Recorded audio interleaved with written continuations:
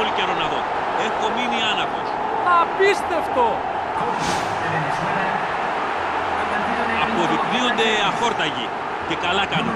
Ο κόσμος πλήρωσε για να δει θεάμα. Μάλιστα, το είδαμε και αυτό. Απευθείας γκολ. Αυτός ο παίκτης είναι εκπληκτικός στις ε, στιμένες στιμένες. Είναι πραγματικά κίνδυνος θάνατος.